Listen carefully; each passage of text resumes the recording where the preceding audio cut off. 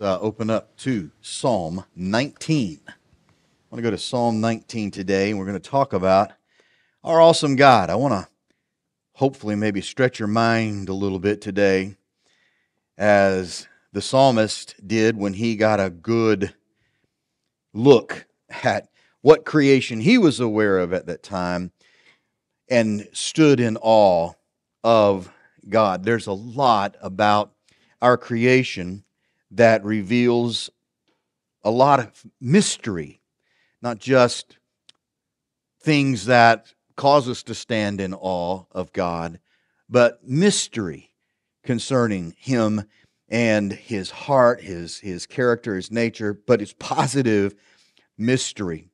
David, when he wrote this psalm in Psalm 19, he says, The heavens declare the glory of God. The expanse shows his handiwork.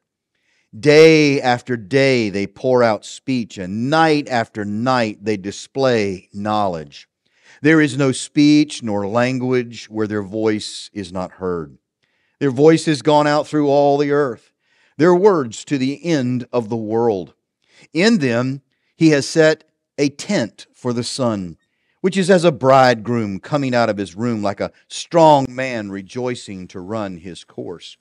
His going out is from the end of the heavens, his circuit to its ends, and there is nothing hidden from its heat. And then, of course, he goes on to talk about God's law, and God's truth, and the perfection of it, and the glory of it, and the effect, the positive effect God's truth has on our hearts and our lives. Today, in the age in which we live, uh, maybe oh, we're getting close to 3,000 years removed from when David wrote these words, his understanding, as well as the understanding of all of the people in his day concerning the universe that he was aware of and that he could visibly see with his eyes, his understanding of it was completely different than what our understanding of it is today with all of the modern inventions that we have and things that we can see now that David 3000 years ago had no clue about. I mean, he wasn't aware of all of the things that we're aware of concerning the universe in which we live. There was this simplicity as it were to their cosmology, their understanding of the way the universe was shaped and the world itself, how it was made. And if you remember, several years ago when we were doing the series on the uh, war that goes on in the heavenlies and the angelic beings and all of those things, we talked a little bit about the ancients' understanding of the universe. And kind of, if you remember this first diagram that I want to put up, this is kind of how they saw everything. This is how they viewed it. I mean, they saw the earth there in the middle basically is an immovable object. Some diagrams have pillars, four pillars, because they talk about the foundations of the earth and the pillars of the earth. They believe that the seas extended out, but at some point they came to an end. They, some people would say, well, this is kind of more like a flat earth theology, maybe. I don't know. Is that kind of what it is? Well, maybe in some ways. But we know that the scripture talks about at least 50 times in the scripture the ends of the earth. And we also know that the scripture also speaks a great deal about the immovableness of the earth. It talks about the sun. And of course, their understanding at that time, as was until the Middle Ages concerning the sun, was that the sun was revolving around the earth because they saw it move through the sky. And their understanding was, well, maybe the, the sun's moving around the world. The world's, it's, it's sort of a geocentric universe. The earth is the center of everything. And then, of course, they saw the stars and the moon, and uh, they talked about all that. And of course, above that, they believed there was the great dome that the scripture talks about in Genesis about the watery dome the, that separated the waters below and the waters above. And then the firmament that was there. And then they believed at that time that beyond the firmament, above the, the waters above, and then beyond that was the dwelling place of God. He, he dwells, as they considered, in the highest of the heavens. And that was their simplistic understanding of the world. Now, again, when we go to the Bible, we don't go to the Bible as a science book because it's not that. But we know if the science, if the Bible addresses something that deals with science, it's, it's going to be accurate and correct. But again, David is simply writing from his perspective and his understanding of what he knew, what he grew up, what he was taught, and his understanding of how God had made everything. But then, of course, we know that all of that understanding began to change in the Middle Ages and telescopes started being invented and there was a math that started being developed that could trace the orbits of the planets and the sun and going around the sun. It took a, a, a decentralization away from the earth now. Now they started realizing oh ah, the, the, the, the earth is actually going around the sun. And of course you remember there was a great deal of controversy in the church over this. I mean, if people embraced at, at one point in time, there were people literally being persecuted because they actually believed that the, the sun was the center of the system and not the earth, and they began to teach that based on their discovery scientifically. And the church reacted toward that and wanted to try to, you know, silence all of that until finally, eventually, you know, people began to come around and say, oh, you know, these guys are right. The earth is not the center of the universe, and we're actually moving around the sun. And a lot of the things that you and I take for granted today, I mean, we just sort of just take it for granted were a cause of great controversy at one point in time in history. And now we live in a world that has super powerful telescopes. We're sending telescopes out into space. We sent Hubble telescope out there in the space. And then, of course, now we've got the Webb telescope that's giving us clearer pictures and being able to see further out into the expanse of not only our own galaxy, but also into the expanse of the universe. And we have, by virtue of these things and all of the other inventions that are allowing us to explore the cosmos that's out there, we are learning that the place in which God put us is not only a place of awe and wonder, but it's a place of great mystery. Surprising mystery at times. Now, when we look at the universe, and we'll see this in a minute. It's interesting because there was a Jewish scientist, an astrophysicist, uh, Gerald Schroeder, who came up with a mathematic formula based upon some of Einstein's discovery, and we'll see that in a minute, that proves that the, from the perspective of Genesis, when you're looking in one direction, the universe was literally created in six 24 hour days. But when you look at it from a, another direction, you see a universe that is about 13.8 billion years old. How can that be? Because he, as a Jew, and he teaches Torah as well in a university in Israel, he believes the scripture when the scripture talks about God created the heavens and the earth, and there's day one, day two, day three. But he understood, he believed that there's one, one perspective that we need to approach this from. And then when you look at it from another perspective, it too is correct. And how can that be? And we'll see why in just a minute. But we've got a universe that we know is old. We also know that as they're discovering the result of these telescopes now, that in the universe itself, when Hubble first went up and they started seeing all these other galaxies and they started estimating, well, you know, there's probably 300 and some billion galaxies out there. Not much different than the one we live in. Now, with the new telescopes that are going out there estimating because they're able to see further out into the universe, the possibility of 2 trillion galaxies that are out there. That, and that is as far as they can see, and they've not reached the edge. They can't see yet beyond what they can see now, but they're, they're estimating that obviously there's a whole lot more. And each one of these galaxies containing hundreds of billions of stars and potential planets and all of those things that are out there. And the distances as you remember when you were in science class growing up, that we deal with all of this stuff and we start getting beyond the atmosphere of the earth is in terms of light years. How far something is, is, is away from us or how fast something travels, it's based upon light years. And sometimes the numbers that we throw around concerning the universe and its size, we're so used to hearing big numbers. Sometimes, you know, we talk about the trillions of dollars that we're in debt, you know, with the United States here and all the problems with all that. And we use that term, we just sort of throw it out. We don't think about the bigness of it. We don't think about the largeness of it. I mean, it's just a, a, a, word that we throw out of our mouth, not realizing the size and the scope of what we're actually talking about. But if we start thinking about it in literal terms, when we start allowing our minds to race, just like David was allowing his mind to race when he wrote this and talking about the glory and majesty of God that could see above him, it will humble us in some very profound ways.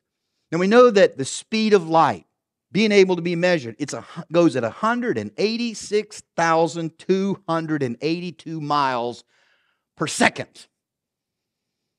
That's not a minute, that's not an hour, that's every second light travels that quick.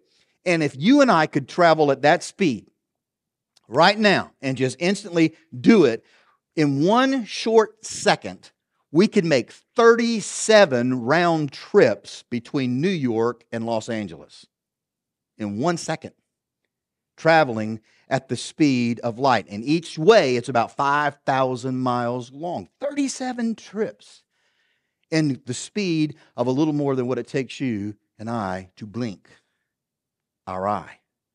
That fast. And when we measure the universe and how they used instruments to measure the universe, we're talking about not millions, but billions of light years that they can see out into the distances beyond. The known universe, what they can measure now and they can sort of calculate with, is about 93 billion light years across. 93 billion light years. That is 37 round trips between Los Angeles and New York each second of each minute of each day of each year for 93 billion years. And the number of miles that that would cover would be just absolutely meaningless, was just a number with a bunch of zeros after it. I don't know about you, but that's big. That is big. I mean, it's staggering when we begin to let our minds race to it. And when we look at Psalm 19 and we look at Psalm or uh, Romans 1, where Paul talks about that the, the universe is telling us about the nature and character of God. There are things that we can learn about God from His creation if we observe it. Paul talks about we can learn about His divine power we can learn about His wisdom. We can learn about His grace, His love. There's a lot of things that creation teaches us about the nature and character of God. And I like to think that if David were to know what we know today about the universe, he would have used some different words when he wrote this psalm. I mean, when he starts out and says, the heavens declare the glory of God, and when he talks about the expanse, well, David's understanding of the expanse was limited. But when we talk about expanse and we're talking about 93 billion light years, that's mind blowing. I think David would have just had his breath taken away from him, trying to find words to describe the majesty and character of God. And yet, the further we go out and the more discoveries we make, the more mysterious the universe becomes to us, about how it operates, both on the big macro level as well as on a micro level. The world that's all around us that, that is so tiny that the universe is made up of with the protons and the neutrons and all the quantum physics, which we'll, we'll see in a moment. It blows our mind at how it is all constructed and made. But when we talk, start talking about mystery at what we're seeing out there, if if David says the heavens declare the glory of God and all that we see out there are telling us things about God, one of the things that it will tell us about God that we hadn't got him all figured out. There are aspects to him that are mysterious. And we have to learn to live with the mystery. of God. And as I've talked about before when we were doing this series on life after life, there are things about God we don't even know about yet. He's not revealed everything about himself to us yet. He's revealed all we need to know to know he's good and he's love and all those essential things. But there's things about him that we can't comprehend yet. We couldn't. He couldn't download it into our brains because our brains would explode with the information. We couldn't handle it. So majestic and so glorious are the things about him. But he's given us enough to know that he is a good and a glorious God. Regaining a sense of the mystery of God is something that's very, very important for us in our walk with him. And God is a great deal more amazing, awesome, awe inspiring, big than what we've ever conceived. I mean, think about when we are looking, when the Hubble telescope first went up, and then, of course, the Webb telescope that's out there and we pull out a calculator and we start calculating the images that are being sent back to us. And we go, okay, well, what's the nearest star to us that we could, if we could travel to it, how far away? The nearest star that we look at up in our galaxy is 4.25 light years away, which is 26 trillion miles away from us. That's 37 con- cross country round trips every second of every minute of every day for 1,570 days. 135 million cross country trips at light year speed every second. And all that adds up to 135 million trips. The nearest galaxy to us, Andromeda, 2.5 million light years away, or 15 quintillion miles away from us, or 79 trillion cross country trips at the speed of light every single second. And then you start thinking about just that one galaxy is that distance, and we start talking about the possibility of between one and two trillion galaxies out there in our universe when we look up in the heavens, and every one of them filled with billions of stars. And all of these galaxies placed in exactly the spot where they're placed in billions, sometimes of light years away from each other. Maybe we need to start learning how to adjust our language when we start talking about our great and big God. When we look at the sun that's shining out there today, Scientists say that the sun is one astronomical unit away from us. An astronomical unit is 92 million 955,887 miles. And in the fastest ship we could get in right now that we have, it would take us 25 days to get there. The universe, as I said, I believe is 93 billion light years across of what they can see right now. 93 billions. And one light year is equivalent to 63,000 astronomical units of almost 94 million miles each. Now you're probably sitting there thinking, okay, I didn't know I came to church for a science lesson. I want you to start letting your mind race. I, you need to sit there and be staggered by trying to think of these things because of how big they are. But not only that, because it points to how big God is, how awesome God is for you and I. I mean, if one light year is equivalent like six trillion miles, we've got a universe that's 93 billion light years in diameter, and that's not even the end of it. That's as far as they can see, but they know there's more beyond. They just can't see that far yet. It's just the observable universe. And some estimate that it could be 250 times larger than what we can observe, than what we can see with the most powerful telescopes that we have, or at least 7 trillion light years across. Now, stop and think about that. And we read in Isaiah, the prophet tells us about this great creation and that the Creator holds it all in the palm of his hand. All of it in the palm of his hand.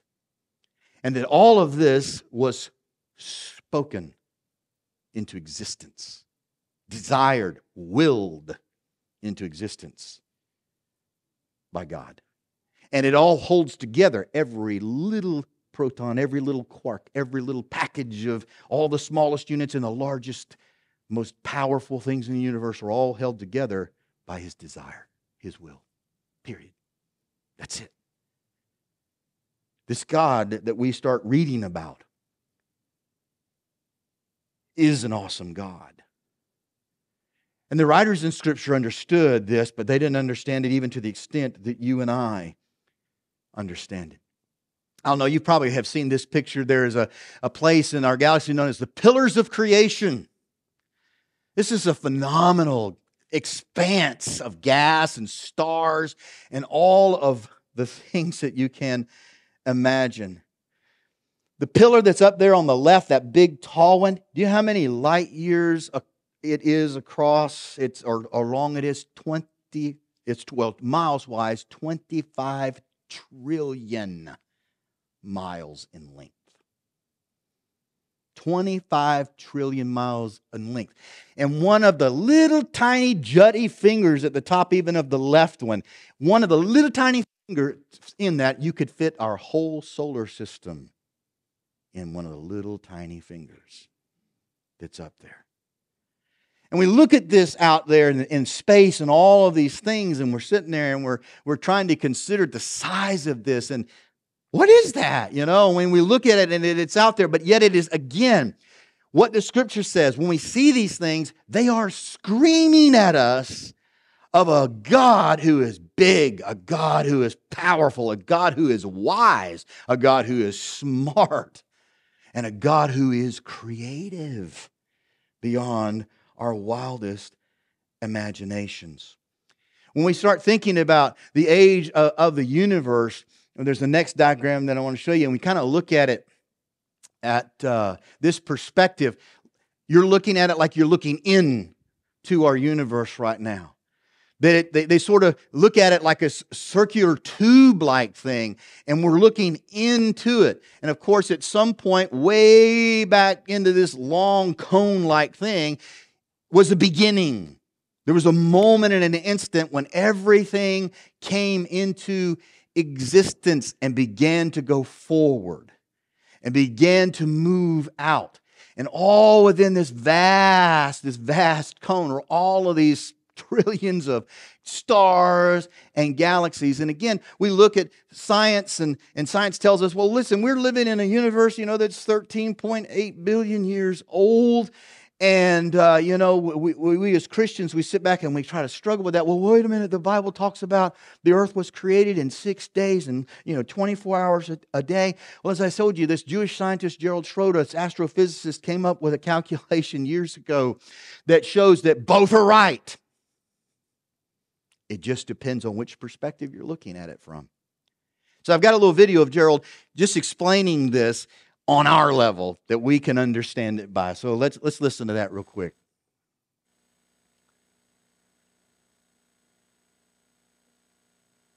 The ancients of the Near East really were well acquainted with the movement of the stars. But if the ancients were so good at using the heavenly bodies to track time, then what did they think of the biblical concept of creation? How could they possibly believe that the entire universe and everything in our planet was created in just six days like it says in the Bible. Wouldn't Genesis sound like some elaborate children's story? Today, scientists believe that the universe was formed not in six days, but over the course of billions of years. But it turns out that modern science and the Bible may both be right. And I found an astrophysicist who believes he can explain why. In the Bible, God says, Let there be light, and wham, there is light. God then creates the entire universe, including our own planet, in only six days. Throughout history, science has insisted that the universe is eternal and that the Bible's explanation is nothing more than myth.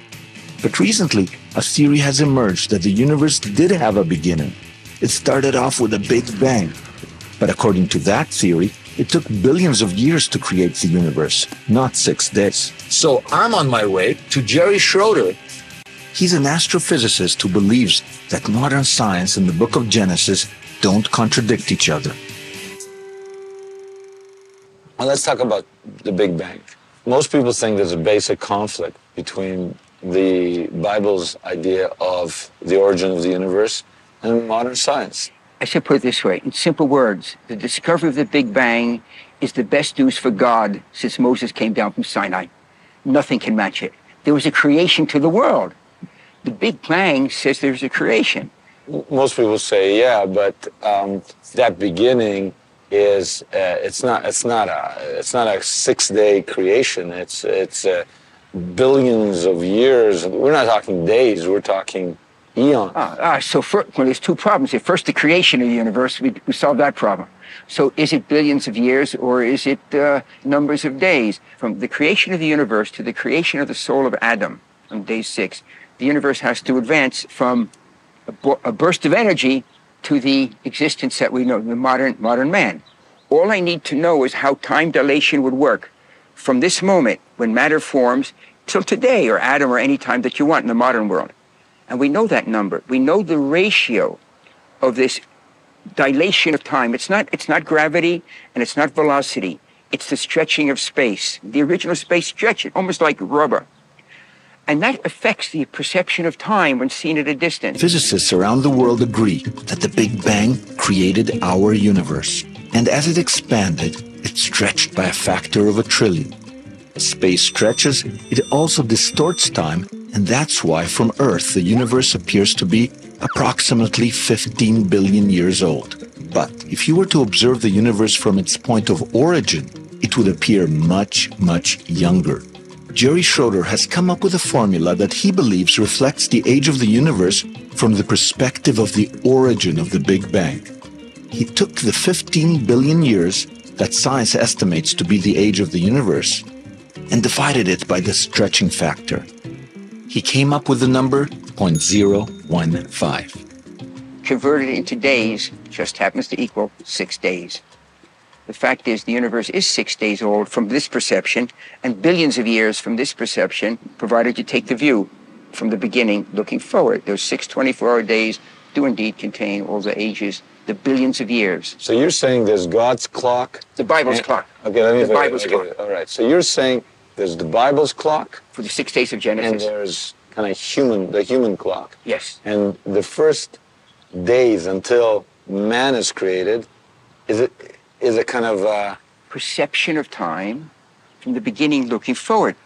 Do you think the ancients somehow intuitively understood that when they looked up at the heavens? I think we all understand it.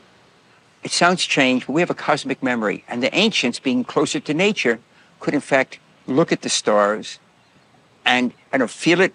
They saw that they were part of this big system. There wasn't this tremendous separation that we have today. Time is pliable. Understanding it is a matter of perspective. There's creation from the biblical perspective and creation from our own somewhat shrunken point of view. There may be knowledge in the Bible that is ahead, not behind, science's current understanding of the cosmos. So you sit there and you think, okay. But again, all perspective. And when you start talking about time dilation, which he was talking about, that's a mystery. How, from this perspective back here, when you're looking from when God spoke it into existence, time wise, it can be equated and factored out exactly six 24 hour days. And yet, on this end of it, where we are looking back from a perspective of time, it appears to be billions of years. Again, mystery. How God is able to factor in all of this. So, the universe, when we look at it now, when we look at it from that perspective, in this next slide, you got this end down here, the beginning, and you've got this universe, and we know that the universe is expanding, it's getting bigger. Things are moving outwardly. Why? Because in the beginning, God spoke it into existence. And so all of this is transpired and taking place, and we're existing inside of this. And when you start getting into all of the interesting things about science, again, the more the deeper you go down the rabbit hole, the more your jaw drops at the wonder of the universe that we live in and that God has created and made. We talked about a while several years ago about this whole idea of quantum physics and how that, that all that's being factored in when you get down to the smallest of particles. And as I said, we got a, a universe all around us that is minuscule and that is just as equally mysterious and amazing as that which you can look out into space and see. We start talking about protons and neutrons. If you want to get down to the level, let's say, of a proton, you would need to take a yardstick and slice that yardstick into 1 billion segments.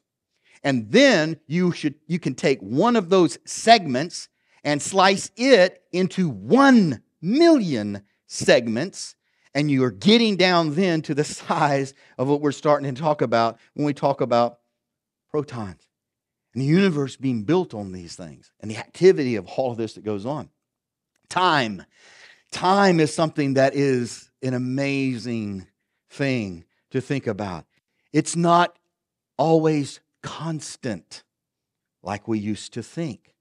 There are changes and even moments when time and space itself can be bent, science has discovered.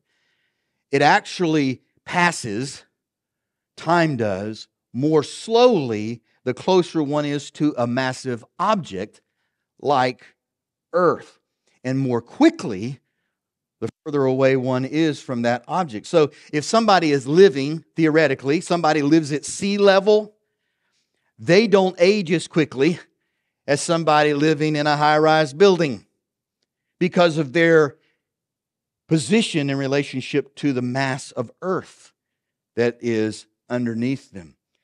And time will pass more slowly for them it seems perceptually that those who live at sea level. So technically, you know, our heads age faster than our feet. But then when we start thinking about it, speed also affects the perception of time. I mean, someone that's moving very rapidly past the surface of the earth will experience time moving more slowly compared with those who are stationary right here on the earth. I mean, astronauts who are riding in the orbit on the space station, they're moving five miles every second through space. And vacationers who are on an airplane flying to Hawaii, up high up off the ground, 35,000 feet up, these will age more slowly than those who are earthbound. Speed slows down time. And if an astronaut were to get in a rocket ship and go to Mars, their actual age, as far as what we're perceptionally, it might take them 10 years, but as far as their body aging, they will have only aged between five and six years because of the speed at which they are moving through the solar system to get to Mars. I mean, the universe that's all around us, when we start thinking about I mean, quantum physics and things like that, where you talk about entanglement and that you can take two particles that are entangled together and then you can separate those two particles away from each other and you can put one at one end of the universe, another one at another end of the universe, 93 billion light years away from each other. And if you turn this one down here, that other one on the other side is going to respond immediately, instantaneously, faster than the speed of light. And scientists don't understand how all that works. That they are somehow interconnected, and yet they are 93 billion light years away from each other, and how they get that even faster can move faster than the speed of light itself in their response.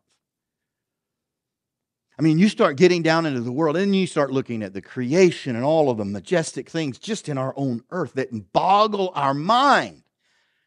We don't have language really that's adequate to describe then when we start talking about the God who made all of this, how majestic and how wonderful and how glorious this God really is. But when we start seeing these things, they should affect how we think and perceive God and what we find revealed about Him in the Scripture.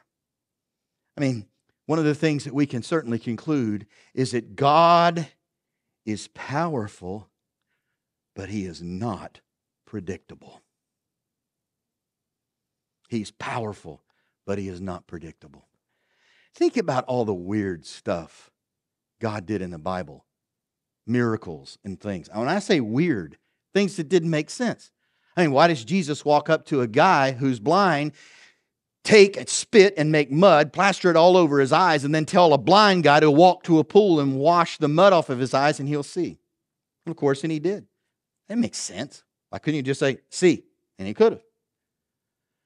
What kind of a God leads people to the edge of, a, of an ocean a Red Sea and then tells Moses to hold a rod up all night long and then with the blast of the wind parts the sea in order that the Israelites could pass through on dry ground. I mean, think about the things I mean God has asked people to do. I mean, you know, Jesus does miracles and a lot, a lot of the things that he does. Well, give me five loaves and two fish. That's all I need. And just bring them here. And he blesses them. And then all of a sudden he multiplies these loaves and the fishes. Or why does he come walking on top of water in the middle of the night, in the middle of a storm to come to his disciples? God is all the way through the scriptures. There are many demonstrations of his power. The whole Bible, we talk about miracles. The whole Bible, there's only about 250 miracles listed in the whole of scripture. And all of them have some sort of strangeness to them, uniqueness. And in every one of them, we see that the God we serve, He's powerful, but He is not predictable. He is not going to always act and do and think like you and I. As He tells us in Scripture, He is not a man like us, He says, who thinks as we think. His ways are not our ways. They're much higher.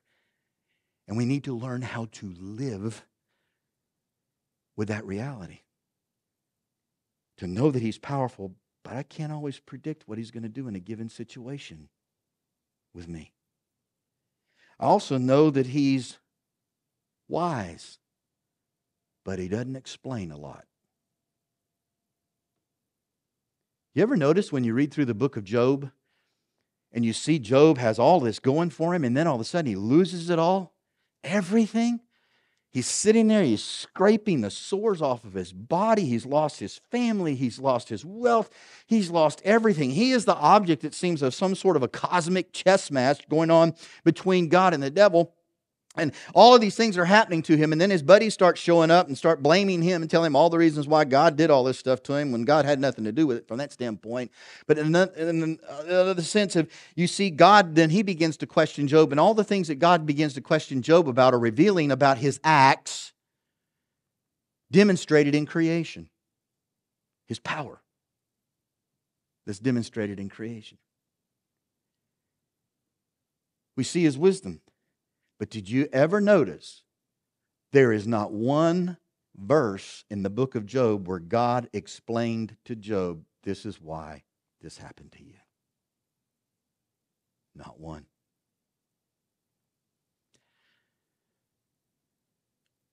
We need to learn how to live with questions sometimes that don't get answers. Because God's not always going to give us the answer. He's wise but he always doesn't explain a lot. And then we can find that God is ever present, but he doesn't always make his presence known. He is filling the whole universe with his presence. He is within everything he has created. There's an aspect of his life that's energizing it. He is present in all places at all times. And yet, sometimes, and you know this, and so do I, when, when we're going through difficult, hard places in our life, we cry out, God, where are you? And sometimes He doesn't let us know that He's there. We don't feel it. We don't experience the closeness maybe that we had at one time. Whatever circumstances we're in, we just feel like He's way far away. Where are you? Just like David and other psalmists, right? God, where are you? And sometimes we have to trust of his presence.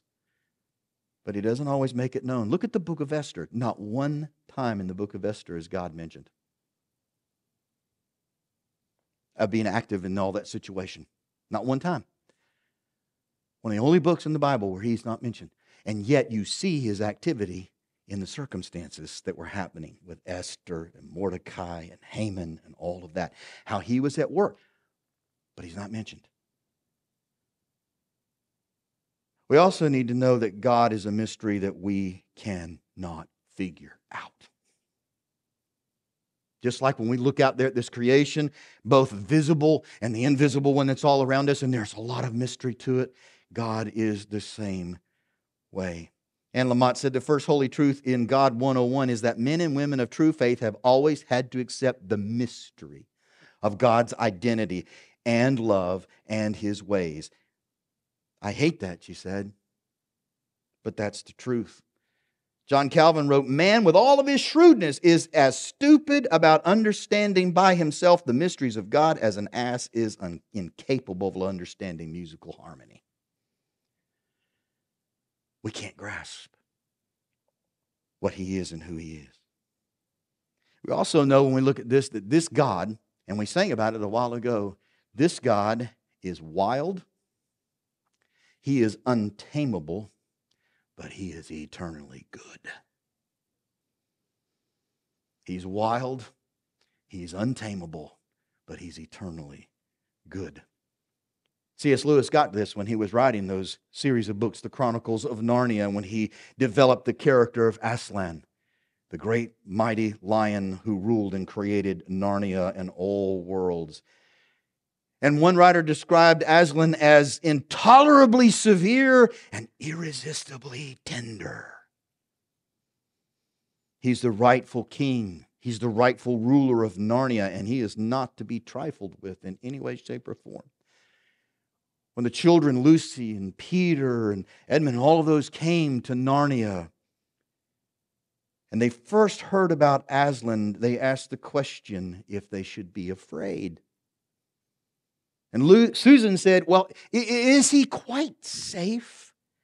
I shall feel rather nervous about meeting a lion. Miss Beaver said, If there's anyone who can appear before Aslan without their knees knocking, they're either braver than most or else just silly. Lucy responded, Then he isn't safe? Safe? Beaver said. Who said anything about safe? Of course he isn't safe. But he's good. He's the king. I tell you. You see, Aslan, he's not a tame lion, but he's a good lion. But he's not safe.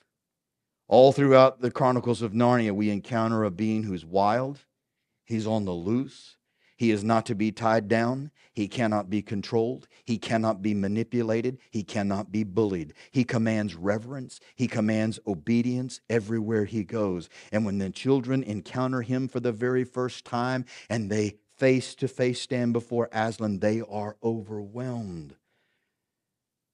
Lewis wrote People who have not been in Narnia sometimes think that a thing cannot be good and terrible at the same time. The children had ever thought so, they were cured of it now. For when they tried to look at Aslan's face, they just caught a glimpse of the golden mane and the great royal, solemn, overwhelming eyes, and then they found they couldn't look at him, and they went all trembling. Steve Brown says if you've never stood before God and been scared spitless, you've never stood before God. When we're talking about all of this, and as a being who created it, we're talking about a being who, yes, he is wild and he is untamable and he will not be bullied and he will not be overcome. He is all power, he is power itself. But he's good, inestimably good. We also know that God is awesome, to be feared, and yet he is filled with creative joy and laughter. You need to get to be the perspective of a child when you're reading through the Gospels because there's a lot of things that are funny when a child reads the Gospels, the things that Jesus said, the things that Jesus did, sometimes it cause them to get tickled and giggle. when they read it. And I think sometimes we lose that magic as we get older and we read the Bible. We lose that sense of wonder. We know God is a God who's filled with joy. Look, I mean, eh, look at his creativity. Look at there's no two leaves the same, no two fingerprints the same. Look at the animals he's made. Have you ever seen a platypus? You ever looked at a giraffe? You ever looked at some of the creatures they're finding at the bottoms of the ocean? How weird and strange and odd that they look? And all of this, God created. A master artist. And every evening he displays his majesty with every sunset, every work of art, and no two sunsets are ever the same. He is a great creator. He is love. And he created a cosmic playground for us to play in. You think all of that that's out there is just for just for show? Well, the Bible makes it clear to us that in the ages to come, we're going to be ruling with reign and reigning with Jesus over this vast creation. We don't know the wonders that await us out there. We don't know. We've got no clue. And yet he's created it for us. It declares his glory and his majesty, but it's there for us, as the scripture makes clear. The love of Christ, as we look at God and his power, embraces everyone without any exception.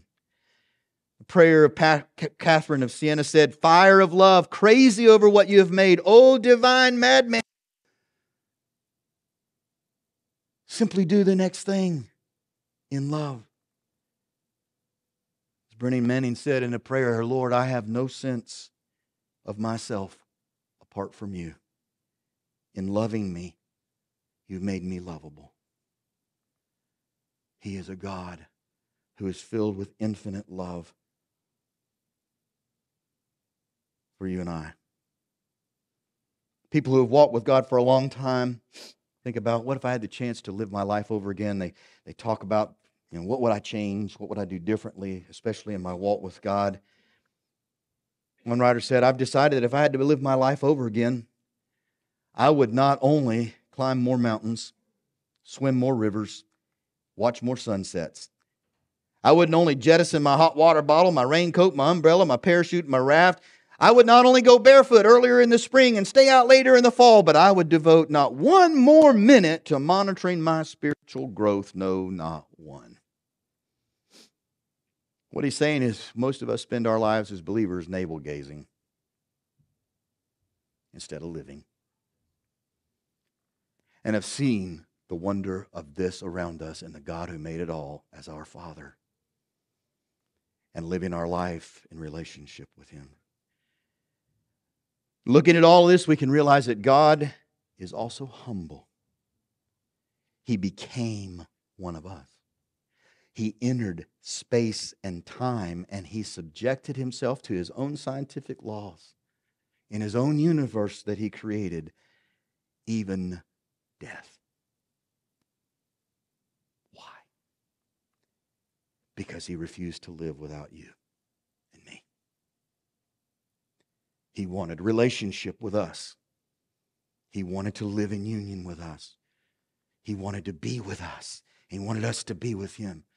When I was laying in bed thinking about this the other night, thinking about the vastness of all of this, and my, I just, my mind, I was just letting it race as far as it could, and then just feeling myself breaking into tears and think that God, who made all of this, condescended to take on real flesh and blood and limitation and live among you and I, and then take upon himself the sin of the world so that he could free his creation from it and have a relationship with us. It boggles my mind to think of a God who would do that. He is humble. And even Paul talks about the mystery of godliness. He who was revealed in the world, in the flesh, vindicated in the seen by angels and proclaimed among the nations, believed upon in the world, and taken up into glory. The mystery of it. that God, by looking at our creation, He is spirit. Jesus said, The Father, God is spirit, and He seeks those who worship Him to worship Him in spirit and truth. He is present. He is present in all. He is present to all. He is guiding the whole cosmos right now. He is moving history. Everything that is going on in this universe is moving toward an ultimate goal. And that goal is renewal and restoration. It's headed that way. My, my, my, what a mind blowing time that will be. And when you think about all of this as I close, think about your problems in your life.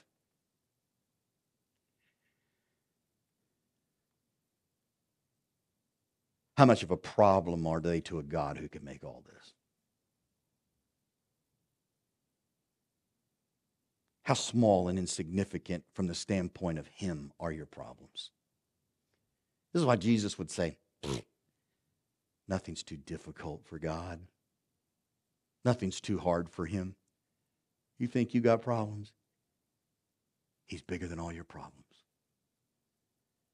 There may be mystery to your problems. There may be things that you may not have explained to you, like Job.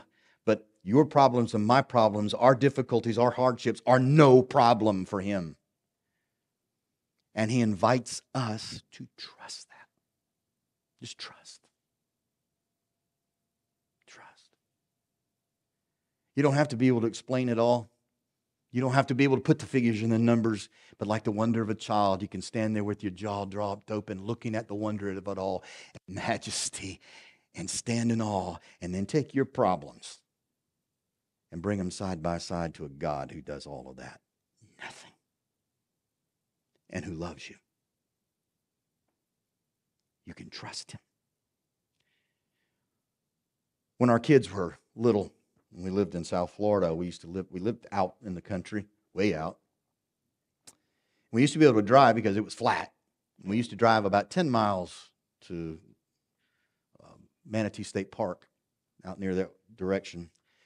At night, we'd wait till it was, you know, 10, 10 30, 11 o'clock at night. There was no lights, artificial light out there, where you could just see from horizon to horizon and see the stars and the universe and the creation was there.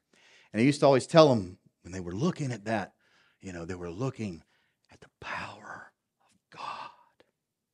And I'll never forget when they were like three and four years old, and we'd go outside, and I'd say to the girls, You want to go see the power of God? And you know what their first response was? Oh, I don't know. I don't know. We want to see the power of God. They were like Lucy, those children knocking knees.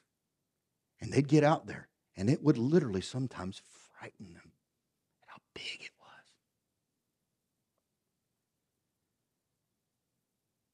And yet they would crawl up in my arms, and we'd stand there, and I'd have my arms around them. We'd just stand there and gaze at it and look at the wonder of it all. The next time you think your problems overwhelming, Next time you think your life is hard and difficult, step outside. Look up. And know that all of that and the one who made it all is not against you. He's for you. And he's with you. And though he may not explain it all, he has the power to see you through it and can in an instant change everything with just His Word. Trust that. Father, we come before you humbly, recognizing your great and awesome power. Thank you for the universe that you've placed us in. Thank you for being good. Thank you for being love. We pray that you would help us to cast, as Paul said, all of our cares on you, as Peter reminded us as well, because you care for us. And whatever problems we may be facing this morning, help us to get a perspective of them. Your perspective. And that nothing is impossible to you. In Jesus' name, amen.